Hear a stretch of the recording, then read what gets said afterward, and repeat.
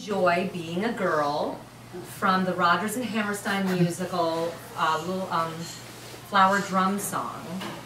And um, she's talking about how excited she is to be a girly, girly girl that she is. So here's Antonia, and this is the first time that she's singing solo as one of my students. So. Good, good luck.